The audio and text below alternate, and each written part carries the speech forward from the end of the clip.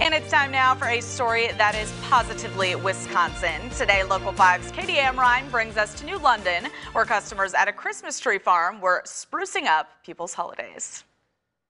If you happen to get your Christmas tree from the Kling family Christmas tree farm this weekend, you may not have had to pay for it. That's because after one person decided to buy someone else's tree, a chain of about a dozen people paying it forward soon followed. Property owner and mother of the farm's owner, Terry Murphy, says her family could not believe just how generous their customers were. He was so proud of all the people too and happy to see it. Our daughter Kelly, my husband Bob, we were all wrapped up in it. It was fun. The Kling family has been selling trees on their 20 acre property for the last two years. It's beautiful to do something with your children and your grandchildren, and then you start when they're really young too too young to be driving a gator, but there they are, driving the gator at you know six years old, bringing out the trees and mudding them.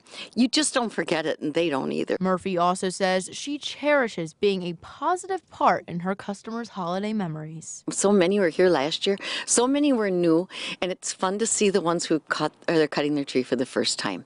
We've never done this. What do we do? How do we do it? And that's fun. In New London, Katie Amrine, Local 5 News.